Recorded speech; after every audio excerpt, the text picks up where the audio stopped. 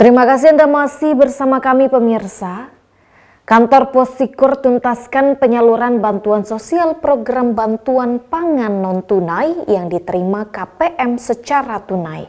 Adapun bantuan yang disalurkan hari ini untuk bulan April hingga Juni dengan nilai Rp600.000. Ratusan keluarga penerima manfaat di Kecamatan Sikur hari ini tampak memadati kantor pos Kecamatan Sikur untuk melakukan pencairan dana bantuan sosial bantuan pangan non-tunai sebesar Rp200.000 per bulan. Petugas kantor Posikur Johan Nuryadin menyampaikan, hari ini ditargetkan 350 hingga 400 KPM akan menerima penyaluran bansos program BPNT.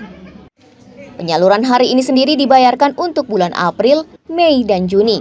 Masing-masing KPM menerima Rp200.000 untuk satu bulan sehingga setiap pencairan KPM menerima uang cash sebesar Rp600.000. Adapun untuk pencairan bantuan bulan Januari, Februari, dan Maret sendiri dikatakan sudah dibayarkan pada bulan Maret lalu.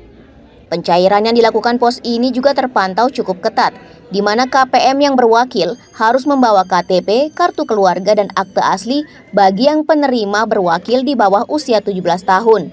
Sementara KPM tidak berwakil cukup membawa KTP asli. Emang jadwalnya dari kemarin ini, dari hari Hamin satu Lebaran. Sudah kita mulai pembayaran, terus hari ini dijadwalkan per desa dia.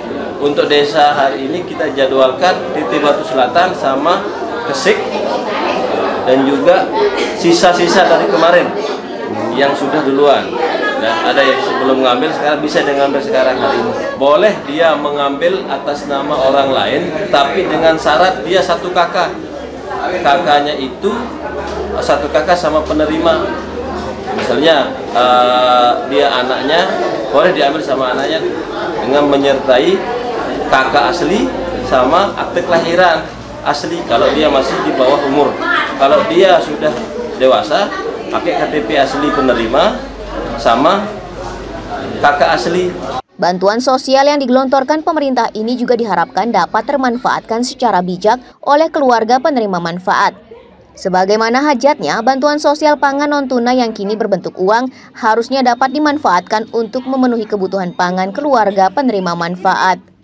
Tim Liputan Selaparang TV melaporkan.